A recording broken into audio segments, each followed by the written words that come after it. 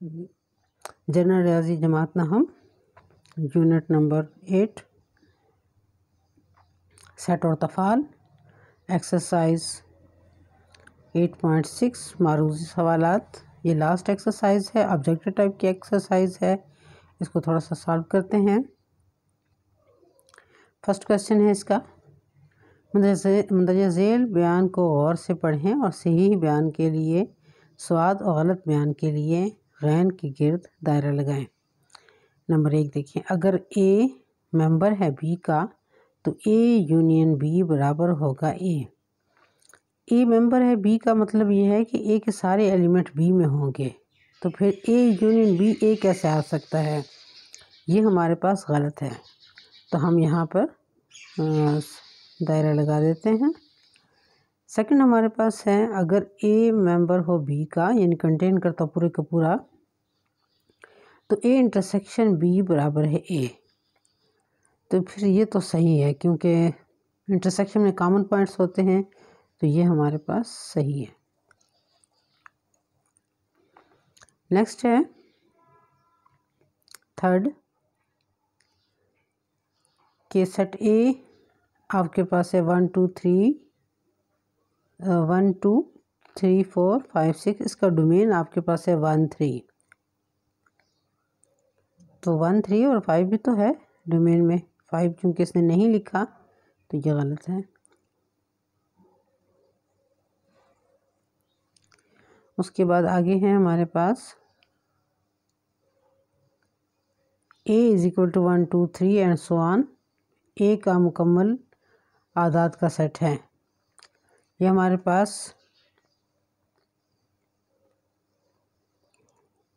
मुकम्मल आदात नहीं है।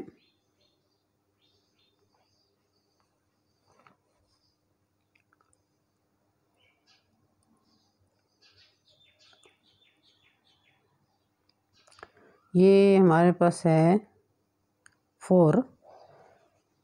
वन, टू, थ्री, एक का मुकम्मल आदत का सेट है। ये तो हमारे पास नेचुरल नंबर्स हैं। गलत ही हुआ ना? तो ये हम गलत की गिर डालते हैं। खाली सेट का कॉम्प्लीमेंट भी खाली सेट होता है। खाली सेट का कॉम्प्लीमेंट यूनिवर्सल सेट होता है। अच्छा अब ये देखें ना, ये ऑब्जेक्टिव टाइप में भी आया हुआ है और ये इस टाइप की जो स्टेटमेंट्स होती हैं, वो लाजमी आती तो ये गलत है। खाली सेट का कॉम्प्लीमेंट यूनिवर्सल सेट होता है। खाली सेट नहीं होता। दो सेटों ए और बी के यूनियन को ए यूनियन बी से ज़ाहिर किया जाता है, ये सही है। उसके बाद है, एफ़ आपके पास कोई फ़ंक्शन है, one, four, two, eight, three, twelve, इसकी रेंज वन, टू, थ्री। नहीं, ये इसकी डोमेन वन, टू, थ्री है तो ये गलत है।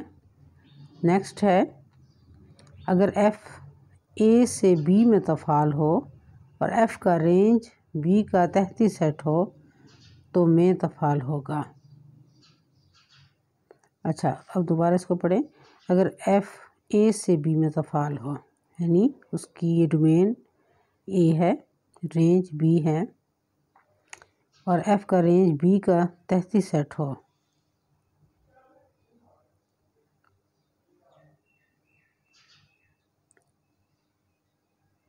अच्छा ठीक है। तैतीस सेट का मतलब है कि कुछ अरकान इसके रह गए हैं। ठीक बता रहा है बहुत हाँ ये सही है। तफ़ाल होगा। तैतीस सेट हो तो में तफ़ाल होगा, ठीक बात है ये।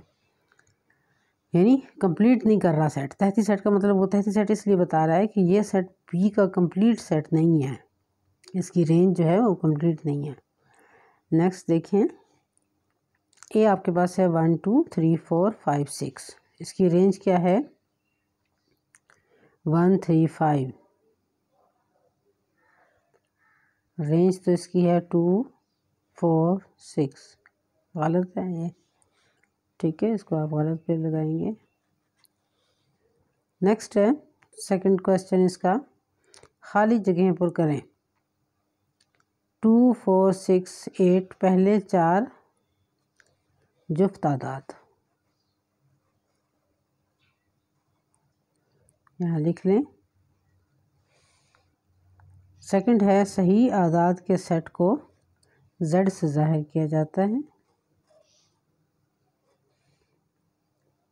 थर्ड है, ए इंटरसेक्शन, ए कॉम्प्लीमेंट। हाँ ये खाली सेट होगा आपके पास क्योंकि कॉम्प्लीमेंट में वो एलिमेंट्स होते हैं जो ए में ना हो तो फिर जब इसके एलिमेंट्स इसमें नहीं होंगे तो इंटरसेक्शन तो खाली होगा। फोर आपके पास है, अगर ए और बी दो सेट हों तो ए माइनस बी तो सेट ए के बाद एलिमेंट्स जो बी में ना हो। इसमें तो हमें ये बात कही जाती है ना। अच्छा इसको हम इस तरह लिखेंगे।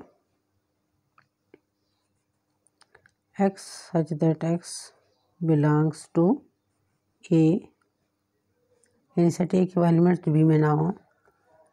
एंड इतना तक भी ठीक है। अगर यहाँ तक लिखें तो भी ठीक है। And X does not belongs to B यानी ये वो सेट ए के एलिमेंट्स बी में ना हो। अच्छा A union B union C ये हमारे पास होता है। A union B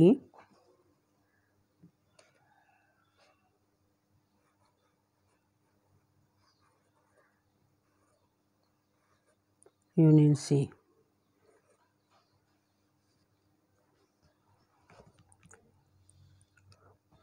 अच्छा नेक्स्ट है हमारे पास A intersection B union C तो ये है A intersection B union A intersection C A union B whole complement is equal to A complement intersection B complement next है, अगर बी ए आपके पास कोई सेट है वन टू थ्री बी है फोर फाइव सिक्स तो A cross B में अरकान की तादाद बताएँ। देखें, तीन ये हैं, तीन ये हैं तो हम लिखेंगे थ्री क्रॉस थ्री नेक्स्ट है, अगर किसी सेट में कोई रुकन ना हो, कोई रुकन ही नहीं है तो एम्प्टी सेट कहलाएगा, खाली सेट या इस तरह लिखें, या खाली लिखें। थर्ड है, हमारे पास दिए गए खानों में दोस्त जवाब लिखें।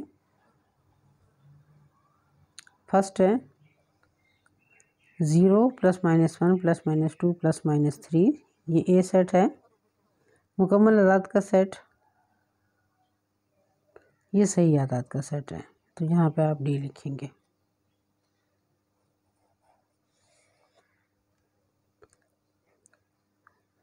नेक्स्ट है हमारे पास अगर आर कोई रिलेशन है, A two, B three, C three तो डोमेन आर, डोमेन देखें ए, बी, सी। तो जिसमें ये ए, बी, सी आ रहा है, वो हमारे पास सी है। तो इसमें सी लिख दें। नेक्स्ट है। थर्ड, अगर सेट बी आपके पास है वन, टू, हंड्रेड सी है टू टू हंड्रेड तो ए इंटरसेक्शन सी तो दोनों में से जो कॉमन पॉइंट्स होंगे वो आप यहाँ लिखेंगे। तो ये हमारे पास आ रहा है। Only two. तो ये इसमें भी और इसमें भी ओनली टू है।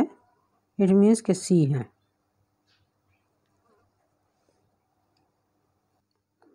नेक्स्ट हमारे पास है फोर क्वेश्चन अगर सेट ए आपके पास है ज़ीरो वन टू और बी है टू थ्री फोर फाइव तो A union B equal to अब देखिए यूनियन में ये सारे एलिमेंट्स आएँगे। तो क्या क्या क्या एलिमेंट्स होंगे? Zero one two three four five अब ऐसा कोई भी इसमें शामिल नहीं है। देखें टू है। इसमें थ्री नहीं है। फाइव नहीं है। तो ये तो मिस प्रिंटिंग है। यहाँ पे अगर टू आप लगा दें तो ये पॉसिबल है। चलिए नेक्स्ट देखते हैं। फाइव है। अगर ए सेट आपके पास है वन, टू, थ्री, बी है फोर, फाइव। और एक आपको रेंज दिए एक रिलेशन गिवन है one, four one, four, two, five, three, four. तो ये, ज़ाहिर है ये थ्री भी फोर के साथ बना रहा है तो ये वन वन तो नहीं है। ए से ए में भी नहीं है, ये बी के एलिमेंट्स इसमें शामिल हैं। एक तफ़ाल नहीं है, नहीं, तफ़ाल तो यह है। इसलिए कि ये, इसकी आप डोमेन देखें वन टू थ्री तो ये कंप्लीट हो रहा है। इसका मतलब ये ए से बी में तफ़ाल है। तो यहाँ पर आप डी लिखेंगे। यहाँ पर हम डी लिखेंगे। नेक्स्ट है।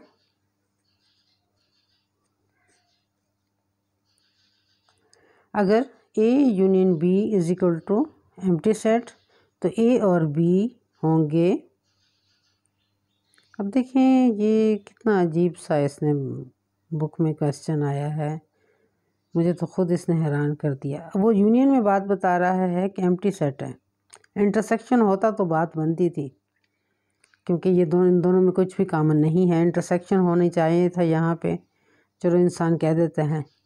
लेकिन यूनियन में तो एम नहीं है। यूनियन में तो आप सारे के सारे बताएँगे।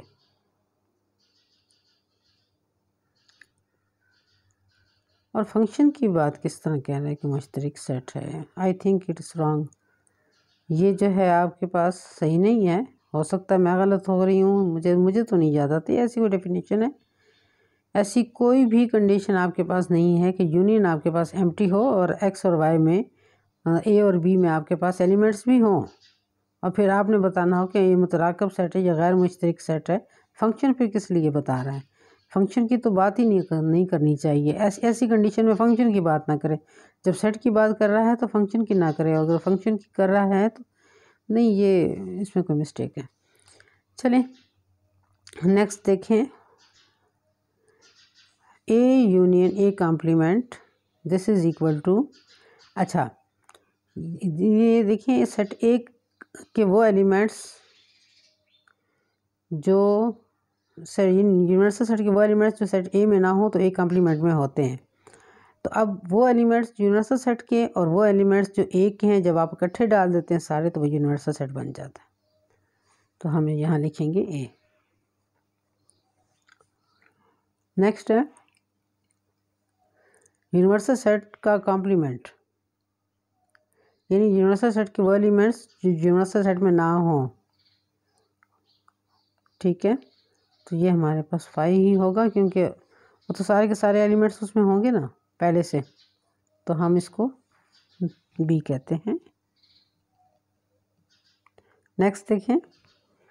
अगर बी आपके पास इस फॉर्म में सेट है X X such set x is equal to p by q q is not equal to zero and P Q belongs to Z तो ये हमारे पास जो है फ़र्स्ट है जुफ्त तादाद का सेट नहीं, ये जुफ्त नहीं है, क्योंकि ये रेशो की फॉर्म में है. बी है नातक आदाद का सेट सी है गैर नातक आदाद का सेट और डी है सही आदाद का सेट तो हमारे पास ये जो है, ये नातक आदाद का सेट है। ठीक है। तो हम यहाँ पे लिखेंगे बी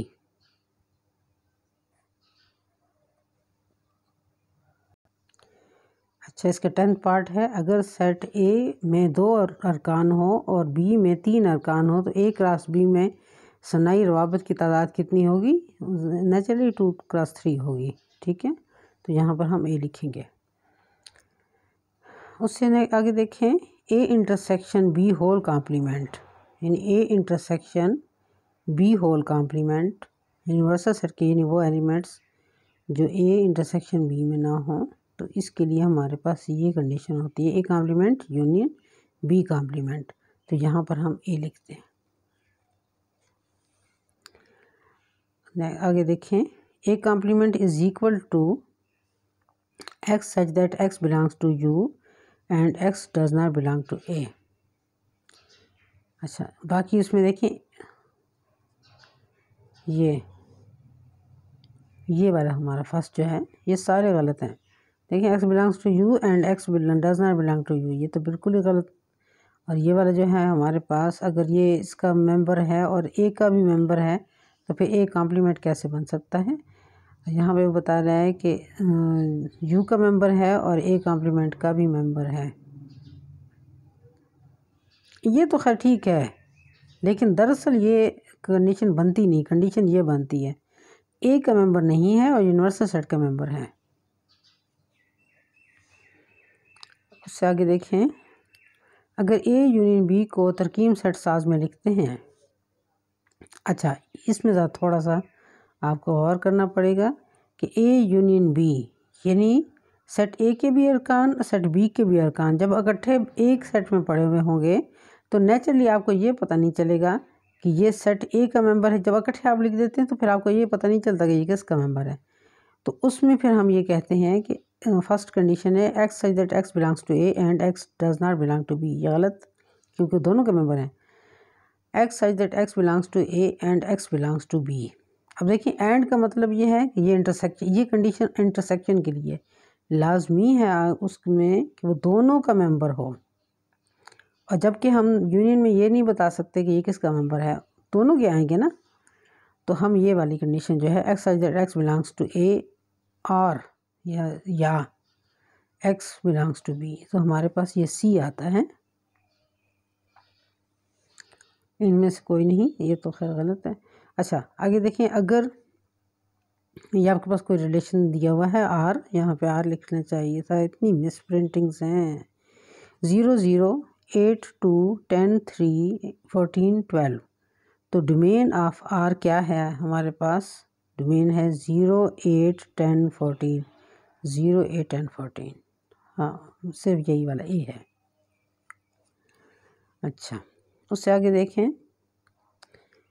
एफ़ सेट ए से बी में तफ़ाल है। तो एफ़ पर तफ़ाल होगा अगर हम ये देखते हैं, पर तफ़ाल किस किस वक्त होता है? ये कंडीशन आपके पास उस सूरत में होती है। ये तो है ही गलत। रेंज नहीं है। हम तो ए से बी पर है ना। तो यहाँ पे domain of f is equal to a होना चाहिए। तो ये गलत। Range of f is equal to b हाँ पर तफाल के लिए हमारे पास यही वाली कंडीशन है। एफ़ में शाम नहीं, ये वाली कंडीशन है आपके पास। Range of f is equal to b ठीक है तो हम इसको लिख देते हैं। ठीक है, इस तरह ये आपकी एक्सरसाइज जो है, मारूजी सवालात की मुकम्मल हो गई।